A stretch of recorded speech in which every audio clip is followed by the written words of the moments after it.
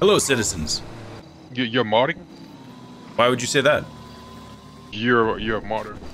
I'm not a got- modder, my friend. uh, I'm One Punch Man, Saitama. Well, I froze you, so until we investigate this situation.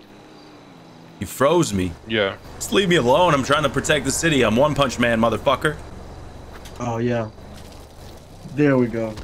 Nice mods. Oh, yeah, he's Banned.